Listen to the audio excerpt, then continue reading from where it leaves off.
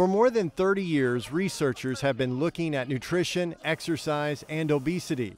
But because there is no single solution, combating childhood and adult obesity requires multiple approaches. With the opening of the new University of Missouri Nutritional Center for Health, also known as MUNCH, and the MU Physical Activity and Wellness Program, or MUPAW, the university is uniting experts from a variety of fields to help tackle this age-old problem. The landscape of our lives has changed in terms of things that are keeping us from being physically active throughout the day, in terms of highly processed foods with refined sugars. There is no single cause of the obesity epidemic.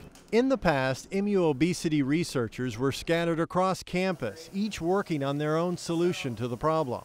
With the new state of the art research and teaching facility, MU experts from the College of Agriculture, Food and Natural Resources, Human Environmental Sciences, Medicine, and even journalism will have a place to collaborate on this topic. One research group on its own cannot tackle a pro, uh, problem that is uh, as multifaceted as obesity is.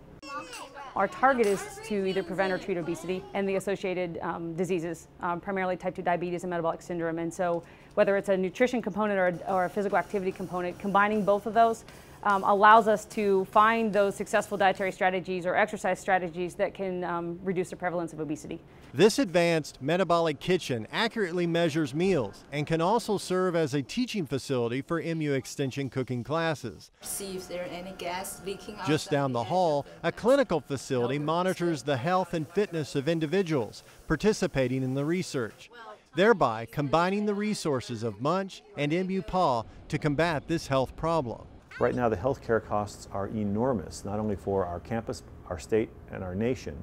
If we can even turn that around by 5 or 10% in terms of healthcare costs, that will be a huge savings for the country. While improving the health of adults and our children.